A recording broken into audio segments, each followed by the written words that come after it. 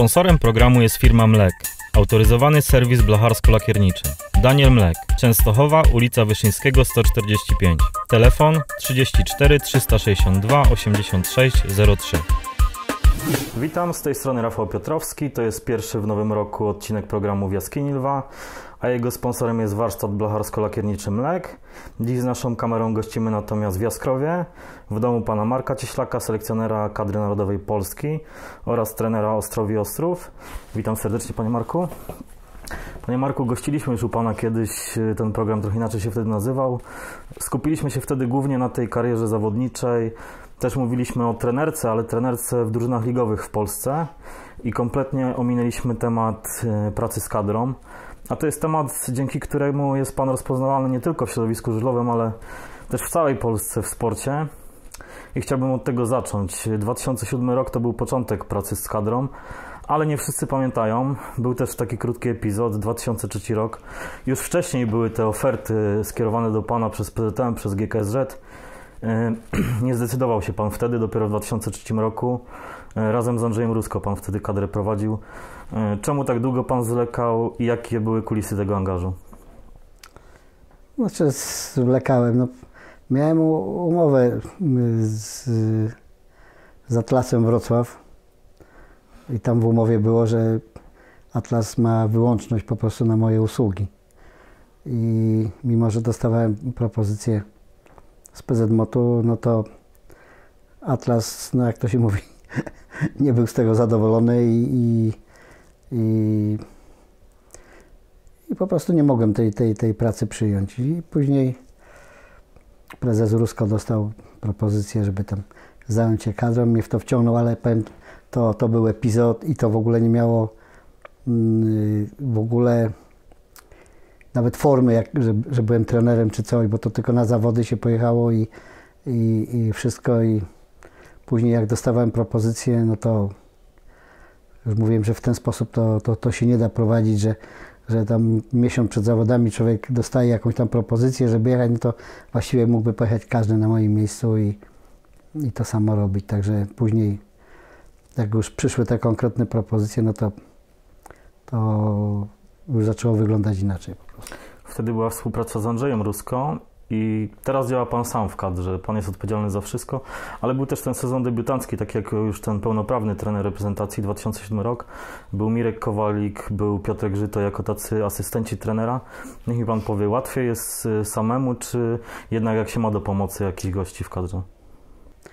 Znaczy to, to wszystko było w ten sposób, że yy, były pierw niepowodzenia tej kadry, no i yy, ci, co prowadzili, podali się do dymisji i szukano drugiego gościa. No ja jeszcze wtedy nie miałem sprawy unormowanej y, z Wrocławiem, więc no, bra, brano z łapanki, kogo się dało, y, ale w końcu dostałem zezwolenie z Wrocławia na, na prowadzenie tej, tej, tej, tej reprezentacji.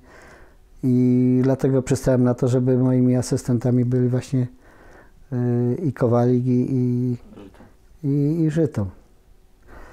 Ale było coś łatwiej dzięki tej współpracy, czy lepiej Nic samemu? nie było łatwiej, bo cała odpowiedzialność to y, spoczywała na mnie i, i, i, i tylko na mnie. Także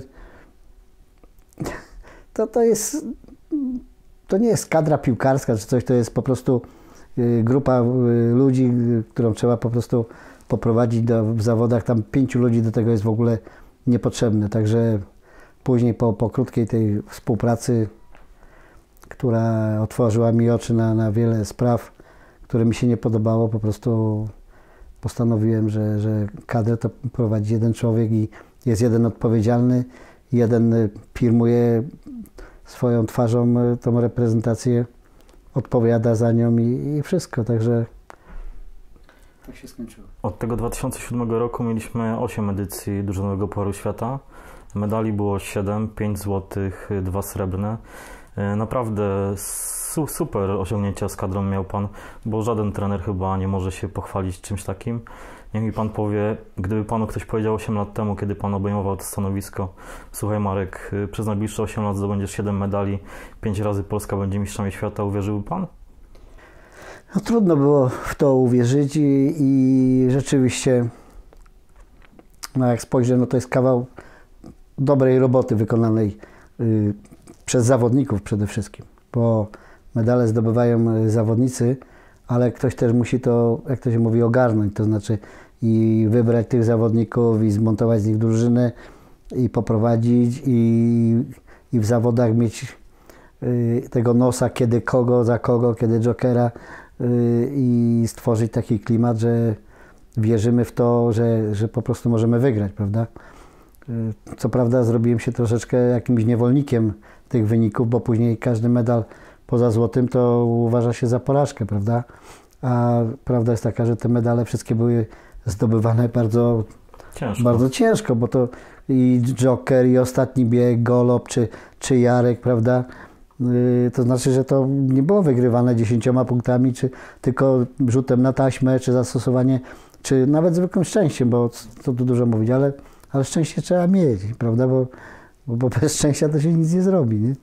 Także, że powiem, że jak spojrzę na to wszystko, no to rzeczywiście to jest kawał yy, yy, jakiejś drogi, jak, wykonane jak- jakiegoś zadania, ale też i trzeba wspomnieć o juniorach. Przecież yy, równolegle przecież toczyły się rozgrywki drużynowych Mistrzostw Świata Juniorów i tam też zdobyliśmy yy, pięć, pięć złotych medali, jeden srebrny i, jeden brązowy, więc yy, to też ma także swoje znaczenie. Dla mnie zawody Mistrzostwa Świata Juniorów są tak samo ważne. Oczywiście, że wszyscy patrzą na, na Puchar Świata, ale juniorskie są również dobre. E, Pan mówił o tym, ten balonik został trochę napompowany z reprezentacją i tak jak Pan powiedział, że każdy nawet srebrny medal był odbierany w kategoriach porażki, czy przez działaczy, dziennikarzy, kibiców. Szczególnie no, dramat, tragedia narodowa się zrobiła z 2012 roku, gdzie e, kontuzje były w teamie. E, Nie awansowaliśmy do finału wtedy w Molili. Pan ma jakiś niedosyt po tych ośmiu sezonach, czy tak jak Pan spojrzy na te wyniki, to nie ma się czego wstydzić naprawdę? Znaczy, to, to, bo to jest tak, że mamy 5 złotych medali, mogliśmy mieć 7 złotych, ale mogliśmy, mo- mogliśmy mieć i 3 złote. Bo jeżeli wygrywaliśmy jednym punktem, a wygraliśmy jednym punktem, nie wiem, dwa razy na pewno, bo yy, w 13 jednym punktem i wtedy co Golob pojechał na, na Kasprzaka motocyklu, ostatni bieg, też wygraliśmy jednym punktem. Więc to były te dwa, ale inne też pamiętam, Tomek y, wygrywał ostatni bieg i, i, to dawało nam wygraną, więc można było wygrać, można było i przegrać, więc w ubiegłym roku przegraliśmy jednym punktem, prawda? No i wielkie rozczarowanie, a dla mnie nie było rozczarowania, dlatego że ja patrzę na, na, na całe zawody. Zawodnicy dawali siebie wszystko, prawda? I też mieliśmy trudności ze skompletowaniem drużyny, bo ci, na których ja liczyłem, to akurat nie mieli formy w tym czasie. Także z powrotem odświeżyło się mm, Piotrka Protasiewicza, prawda, no bo on y, jednak lepiej jeździł od tych, na których ja stawiałem. Ja uważam, że to jakieś chwilowe było, właśnie takie załamanie formy niektórych.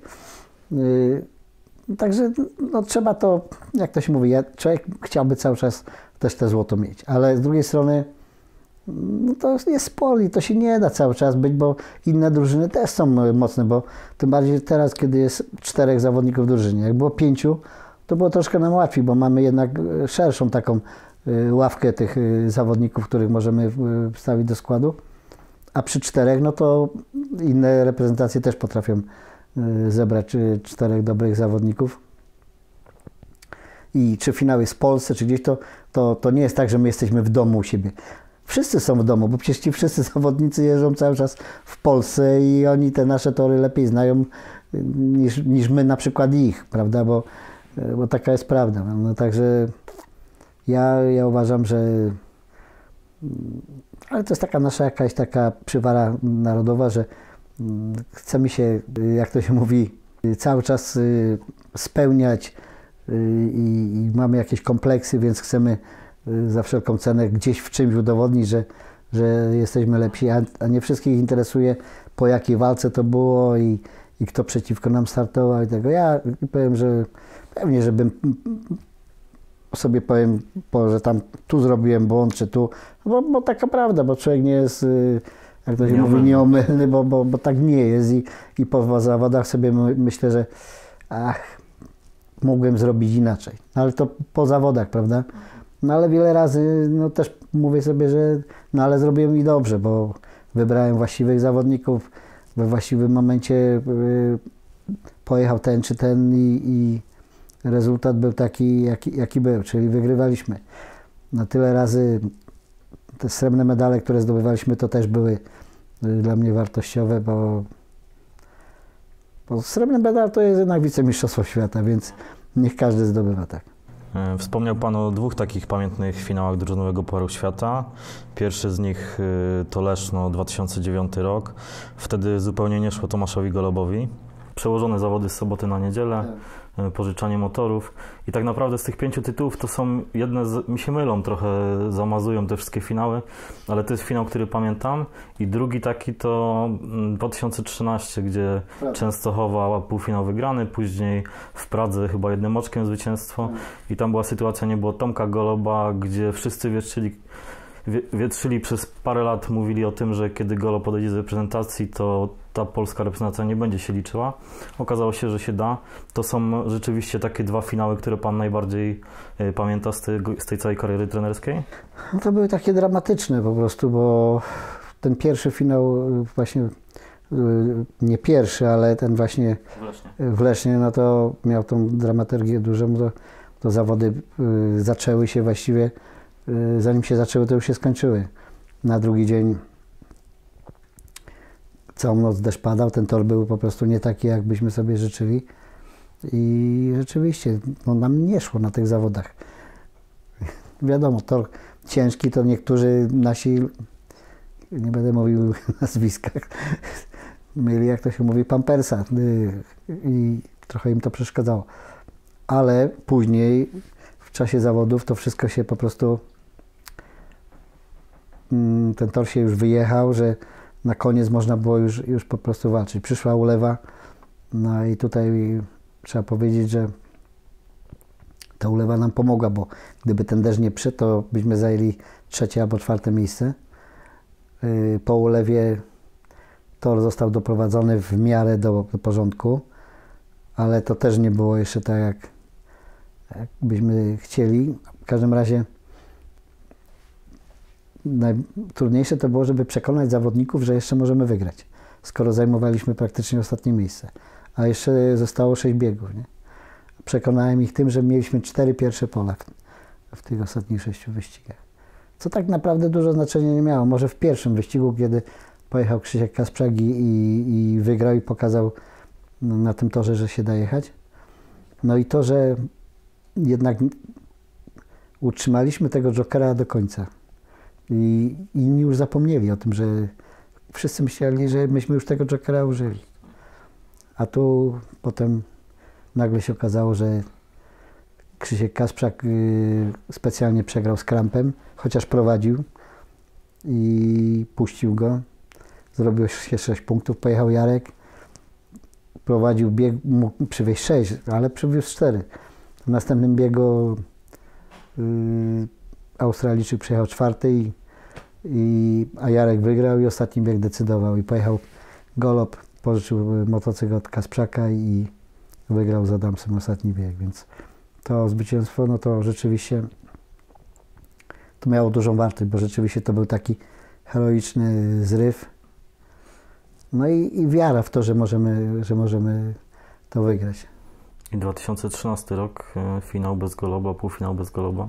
Dało się zdobyć złoto, chociaż nie wszyscy wierzyli. No ja powiem tak, że, że to był taki historyczny, bo nikt sobie nie wyobrażał, żeby bez Goloba można coś było wygrać, prawda? Co yy, byli komentatorzy na Grand Prix w Nowe, Nowej Zelandii, co tłumaczyli, że wraz z Golobem skończy się żużel w Polsce. Yy, co ja uważałem, że wielu było zawodników światowej klasy i kończyli kariery i, i żużel w ich państwach się nie przewrócił, tylko dalej, że no to takie jest życie, że wiecznie nikt nie będzie, prawda? Mimo zasług tych zawodników, czy, czy, czy Tomka Goloba w Polsce, czy, czy innych, prawda? Bo i był Nielsen i, i, i, Ricardson, i, i Ricardson, i, i no, Adams no, i Kramp, przecież to byli liderzy swoich drużyn, a mistrzami świata byli wiele razy więcej niż raz, prawda? I oni podchodzili, a, a te drużyny wcale nie są słabsze w tym momencie nawet. Także to musiało dojść i, i nawet powiem, że te sprawy z Tomkiem Golobem tu w Częstochowie, tu wyszły, co do dzisiaj po prostu mam żal do mediów, że zrobiły z tego taki po prostu cyrk, a sprawa jest całkowicie banalna w tym momencie. Wtedy była, co się do dzisiaj wyjaśnia na pewnych, jak to się mówi, forach, bo sprawa nie jest zamknięta tego, tego, tego finału. No cóż, zawodnicy byli tak zmotywowani, żeby wygrać, że po prostu oni wychodzili, jak to się mówi, sportek, żeby w tym, w tym, finale w tym, w tym finale wygrać i wygraliśmy też no, rzutem na taśmie ostatnim biegiem Jarek jako kapitan drużyny wygrał, ale wszyscy zawodnicy wtedy gryźli tor i dawali z siebie po prostu wszystko. I to było w tym fajne właśnie, że pojechaliśmy bez Tomka i, i pojechaliśmy z dwoma praktycznie juniorami, prawda? Także, że Anglicy byli zszokowani wtedy, ci dziennikarze i zresztą oni nam życzyli też zwycięstwa przed, żeby pokazać, że Żużel nie umiera z jednym zawodnikiem, tylko, tylko bo to jest tak, umarł król, król niech żyje, niech żyje król. I, I, nowe nazwiska się kreują.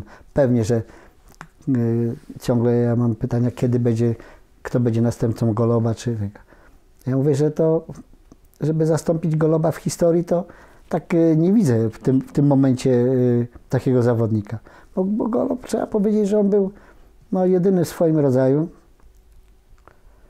Yy, mogę powiedzieć śmiało, niepowtarzalny taki, ale i, i, nieszczęśliwy, bo y, jak ja rozmawiałem z zawodnikami zagranicznymi, a przecież pracowałem wiele lat z Krampem czy, czy z Hancockiem, więc luźno sobie rozmawialiśmy o różnych rzeczach, to oni nie mogli zrozumieć, dlaczego on jeszcze nie ma tytułu mistrza świata. Bo oni go szanowali, uważali go nawet za, za lepszego od nich, nie? a oni już mieli po kilka tytułów, prawda? I ten Tomek y, na mój gust to powinien być ze cztery razy mistrzem świata, nie, nie tylko raz. No ale dobrze, że chociaż był raz, ale, ale on umiejętności miał na, na, na dużo, dużo więcej. Panie Marku, co jest takiego najtrudniejszego w pracy z kadrą narodową e, żużlową? Bo jak sobie tak spojrzę z boku, no to chyba presja, ale nie chodzi mi o tą presję na wynik, tylko presja przy ustalaniu składu, no bo zawsze tych nazwisk jest sporo w Polsce, które mogą wskoczyć do kadry i zawsze było tych dwóch pewniaków, czyli Golob, Hampel, później był, teraz jest y, Hampel plus Kasprzak. No i kogo by pan tam nie wrzucił z reszty, to zawsze są komentarze, zawsze ktoś próbuje coś ugrać na tym, żeby kogoś wrzucić do tej kadry. To jest najtrudniejsze? No to wszystko jest trudne, bo to, to, to, się, to się tak mówi. Przedtem było pięciu, to dwóch wiedziałem, prawda? A trójkę dalej? I naprawdę to my się szczycimy, że my mamy dużą y, ławę zawodników. Ale to do pewnego takiego stopnia, prawda? A później to rzeczywiście y, bywało tak, że nie wiedziałem, kogo mam wziąć tego, tego czwartego, piątego. Bo ten miał takie zalety, ten takie, ten takie braki, ten takie braki, prawda? I to jest, to jest, nie jest łatwa sprawa, żeby to wybrać. A szczególnie teraz, kiedy Goloba nie ma, no to, to tym bardziej, bo już tego pewniaka nie ma w tym momencie. Ale z drugiej strony staram się wybrać no, możliwie według mojej wiedzy yy, no to co jest najlepsze, prawda? Bo też pytano mnie, czy, czy teraz planuję, że byłoby dwóch juniorów, a dwóch seniorów. No ja mówię, że, że czterech tych, którzy najlepiej jadą, no bo to są mistrzostwa świata, prawda? Więc musimy, y, y, jak ktoś będzie z seniorów lepszy od juniorów, no to, to trudno, prawda? Ja bym wolał, żeby juniorzy byli, byli lepsi, ale na to się zanosi, prawda? Że, że, że ci juniorzy nasi zaczną y, rzeczywiście decydować o tym kształcie reprezentacji. To są, to są trudne sprawy. Ja sobie z nimi daję radę, a z tą presją to powiem tak. Ile lat jestem trenerem, tyle lat po prostu będzie y, jednym ludziom będzie się to podobało, drugim nie będzie się podobało. Każda moja decyzja będzie y, komentowana w lewo, w prawo. Y, wiadomo, że obroną tego wszystkiego jest tylko wynik. Nic więcej, żadne moje gadki, tłumaczenia, że no bo uważam, że tak, bo ten. Nie, dopiero ten wynik po zawodach mówi, czy ja miałem rację, czy nie miałem racji. Tak przeżywałem z Maćkiem, który tu jest na zdjęciu. Kiedy go powołałem do reprezentacji, no to ten Maciek był załamany. I on od momentu, kiedy dostał powołanie do czwórki, to po prostu nic nie robili, tylko po prostu na niego y, lecieli i na mnie, że To 2013 rok wspomniałem. tak, że, że to dlatego, że to mój wychowanek, że to mój zawodnik. A ja wiedziałem, co on, co on jest, co on, co, on, co on potrafi robić. I potem pojechał w finale, półfinale bardzo dobrze, w finale jeszcze lepiej. Zrobił 12 punktów, powygrywał decydujące biegi. I to, i to jest obrona. A to, że, że człowiek będzie krytykowany, no to, no to powiem, to taka jest moja rola, no, że każdy trener w każdej dziedzinie, yy, gdzie są kibice, no, no będzie po prostu yy, i, to trzeba przyjmować normalnie, bo taka jest po prostu. No normalnie, no każdy ma inny swój. Dobrze, że się ludzie interesują, bo gorzej by było, gdyby nikt nic nie gadał. To znaczy, że, że ludzie się tym nie interesują. A jeżeli jest dużo, tylko że ja mam jeszcze tą zaletę i co życzę mojemu, moim, mojemu następcy, no bo będzie jeden, prawda? Żeby jednak. y, Bo ja potrafię się odciąć od wszystkich, bo wtedy y, wielu podpowiada, że powinien być ten, a ten. Nawet władze do mnie dzwonią, najwyższe. I, I nie biorę tego pod uwagę w ogóle. I teraz ten, y, który będzie po mnie, musi też mieć tę odporność i nie dawać się po prostu y, wdać w jakieś polemiki, y, kto czy jak. No pan kiedyś, kiedyś mi pan powiedział, że najgorsze w przypadku trenera jest to, jeżeli pozwoli sobie narzucić e, kogoś do składu.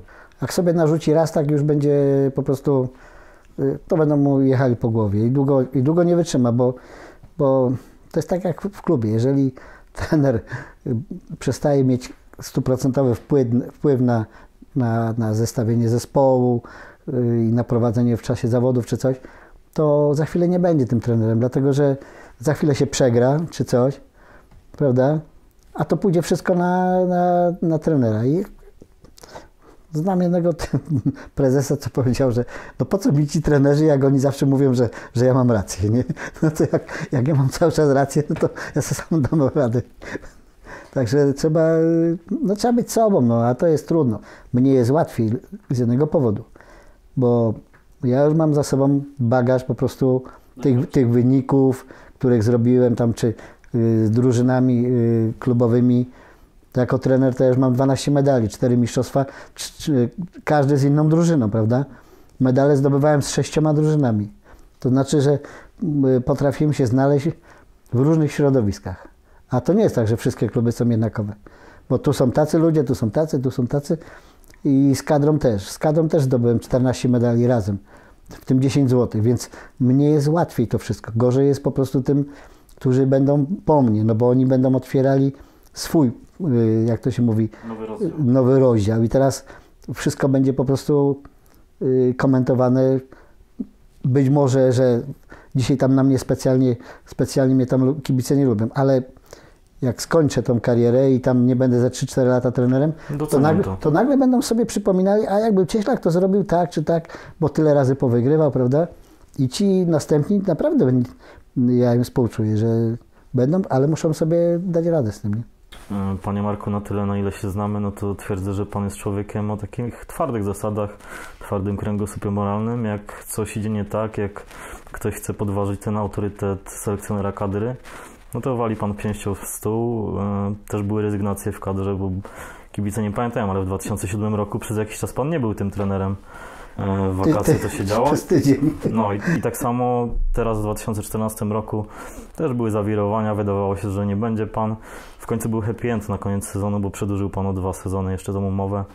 Jak to jest? To, to jest tak, tam ten 2007 to yy, poszło, o co poszło? że po finale, y, który wygraliśmy w Lesznie, też był piękny finał wtedy, Golob też ostatni bieg y, wygrywał i tym y, pieczętował, chociaż Jarek wtedy cała drużyna jechała bardzo dobrze. Problem był tylko z Grześkiem Walaskiem, bo, pojechał 2-0, zrobił, ale był rezerwowy i wtedy z Grześka się zrobiło chorego i, i Baliński pojechał. Także to wygraliśmy.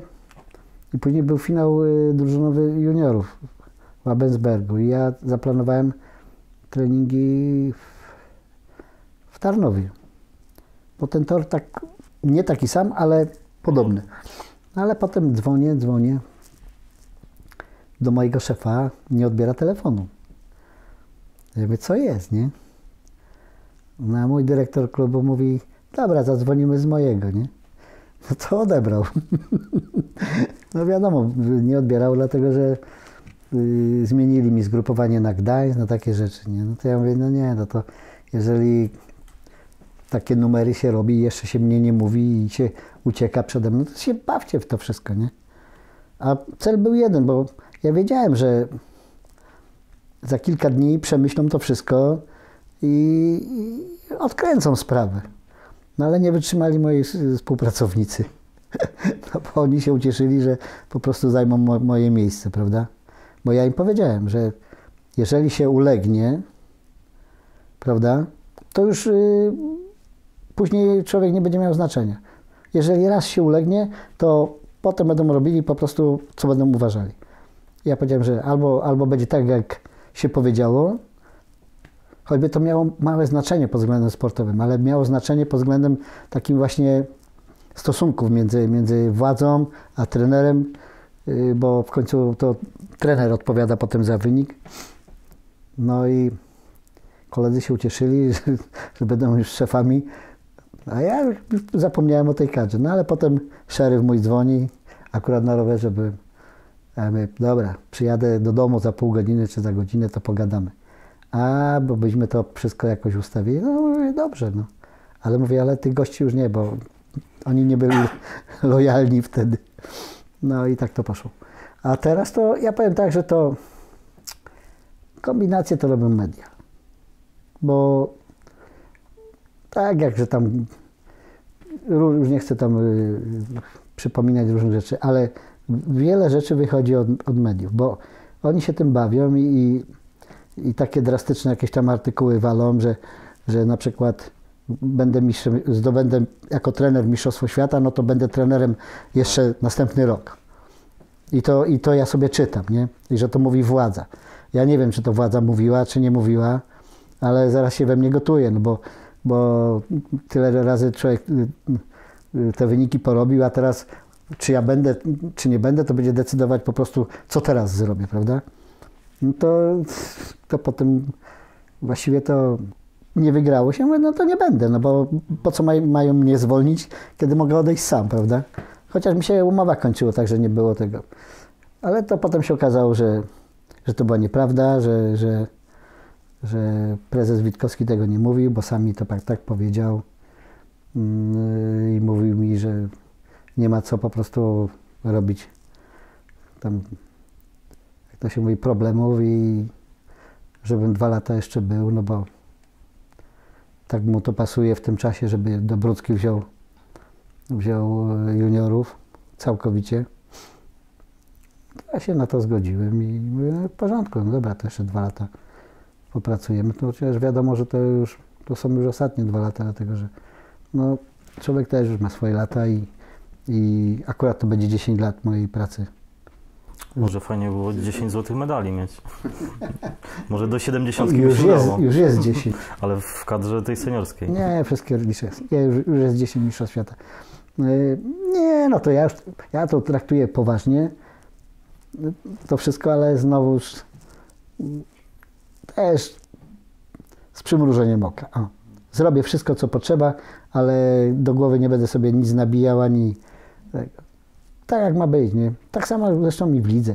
To nie jest tak, że ja mam napinkę gdzieś, żeby, yy, bo tam piszą, bo mnie interesuje tylko wygrywanie czy coś. To jest to normalna moja robota jeden idzie do, do kopalni, jeden tu, a ja, a ja idę na żużel i robię to, to, co umiem. Robię tor, robię to, z zawodnikami pogadam, trochę potrenujemy, coś tam wyeliminujemy, coś się nowego nauczymy i, ten wynik jakoś tam przychodzi, ale to nie jest tak, żeby tam na baczność się y, stawiało drużynę czy coś, bo my to musimy, czy nie musimy, nic nie musimy, to, to, to musi przyjść samo, prawda? Jak się dobrze przygotujemy, jak będzie dobra atmosfera w drużynie, skład w miarę, to, to, to wszystko można zrobić, nie? Ale to spokojnie, nie? Także cieszę się teraz, bo teraz będę miał tutaj część moich tych przyszłych kolegów i i, i tych, którzy prowadzą drużyny na kursie po prostu instruktorskim. Także będę prowadził z nimi zajęcia właśnie na temat czysto yy, żużlowy, nie, bo tam jest kilku wykładowców i, i sobie podyskutuję właśnie z chłopakami. No, przypuszczam, że wszyscy dadzą. u, mnie. Panie Marko, odbiegnijmy trochę od tej kadry. Dziwna rzecz się stała po tym sezonie. Chyba się panu znudziła Ekstraliga. Jak tak się spotkaliśmy chyba przełom października, listopada i pan mi, mi wypalił o tym Ostrowie, to ja tak nie wierzyłem do końca. No, jak trener kadry w pierwszej lidze, co takiego się stało, że już nie chce pan w tej Ekstralidze pracować? To jakby spojrzeć z boku, no to gość, który szkoli reprezentację, pracuje w pierwszej lidze, to, to taka trochę degradacja sportowa. Każdy może sobie to nazywać jak chce. Mnie to nie przeszkadza. Yy... Ale z drugiej strony nie wypadało mi inaczej. Dlaczego? Dlaczego? Dlatego, że moje stosunki z, z władzą klubową yy, w Tarnowie nigdy nie były dobre. Bo po prostu troszeczkę historii znałem i wiem, a ci ludzie byli już tam wiele lat, także moje stosunki dobre były i są yy, z władzą grupy Azoty. I ja tam byłem zatrudniony i jestem. Y, I, i ja robiłem swoje po prostu i nie wszystkim się to podobało, bo y, żeby sukcesy przeżyć, to też trzeba y, mieć jakąś odporność, a nie wszyscy mają odporność, żeby nawet sukcesy, bo przecież po, po Unia Tarnów w całej swojej historii zdobyła tylko sześć medali drużynowych mistrzostw Polski, z czego trzy jak ja byłem, prawda? Więc prawie praktycznie połowę tego, prawda? I jednak te sukcesy, yy, można powiedzieć, że były super odbierane przez kibiców, bo powiem, że takich kibiców jak Matarnów, to chciałbym, żeby, żeby wszędzie byli. Bo człowiek się czuł na tym stadionie naprawdę jak, jak w domu, nie? Yy, I potem po zawodach wychodziliśmy zawsze do, do do, do kibiców i to, to było super, prawda? Tak czuło się tą e, więź po prostu kibicy, kibiców e, z drużyną. Natomiast władzy klubowej nie mogłem nigdy ani zrozumieć, ani, ani jakoś tak znaleźć jakiś taki wspólny, wspólny język. A dlaczego mi nie pasowało iść do jakiejś ekstraligi? Dlatego, że to wszystko się bardzo szybko potoczyło i było wiadomo, że ja już nie popracuję tam y, y, w tym. I myślałem, że odejdę całkowicie, ale ja dostałem propozycję od szefów y, grupy Azoty, żebym sobie szedł gdzie chcę, że nie miałem nic przeciwko temu, ale żebym dalej miał współpracę po prostu z firmą i podpisaliśmy kontrakt trzyletni po prostu i grupa Azoty jest moim głównym partnerem, także ja żeby kibice się nie gniewali na mnie, że ja czapkę będę nosił y, Grupa Azoty. Grupa Azoty i tutaj też oczywiście i, i Ostrowia i, i, i sponsorzy wszyscy też na mnie będą, prawda? I teraz y, nawiązując dalszą współpracę po prostu z Tarnowem, z Grupą Azoty, no głupio by było teraz, żebym ja poszedł do innej drużyny ekstraligowej i przyjeżdżał na mecze do Tarnowa żeby, żeby wygrać tam, prawda? Także, Ale w barażach się możecie spotkać. No, a z drugiej strony dostałem propozycję od prezesa Mirka Wodniczaka i byłem tam na jednym meczu, troszeczkę tam, no, niewiele, ale troszeczkę tam pomogłem i ja widzę tam takie duże zaangażowanie yy, po prostu yy, i działaczy i, i w ogóle miasta, żeby yy, żużel tam po prostu tym Ostrowie poszedł y, w, w górę. I ja sobie myślę, że, że to jest fajna tak, taka przygoda, robota, że przychodzę właśnie do, do, do, do drużyny pierwszoligowej, robimy drużynę, montujemy sobie skład i, i po prostu staramy się zrobić dobry żurzel tam. I dla mnie to jest frajda. To, to wcale nie jest.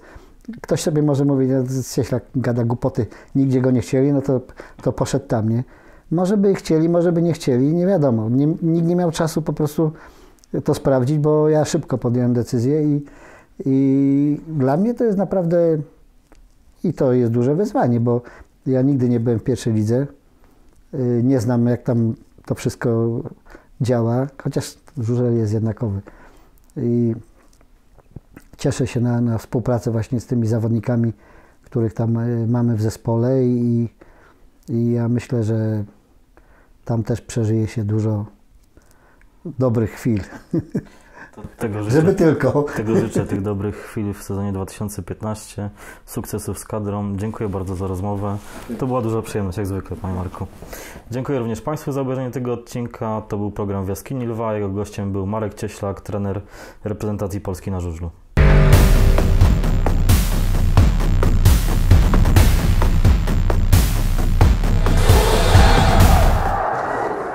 Sponsorem programu jest firma Mlek, autoryzowany serwis blacharsko-lakierniczy.